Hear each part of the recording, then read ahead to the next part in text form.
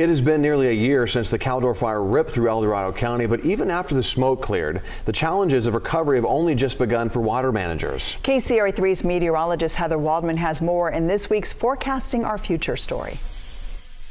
It's a stark reminder every single day of, of what can happen to your watershed. Like so many others, As you can see, work and play take Dan Corcoran through the Caldor fire burn scar often. you kind of sometimes wonder where to start uh, when it's when a, a challenge this big. Corcoran is the director of operations for the El Dorado Irrigation District.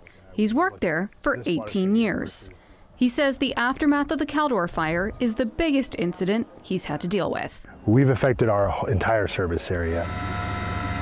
85% of the Sly Park watershed in El Dorado County was scorched. And for water managers, the challenge was only just starting once the smoke cleared. There's tons and tons of carbon that is naturally in this watershed.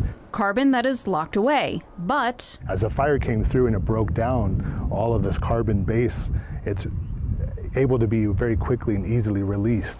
And every time it rains, that carbon gets swept into the water system, requiring continuous changes to how water managers filter and sterilize community water supplies. We're constantly looking at the amount of carbon that's coming into our reservoirs and the amount that's coming into our treatment plants. Following the historic October rains last year, carbon levels were 100 times higher than normal at EID's treatment facilities, at times causing water to smell and taste musty.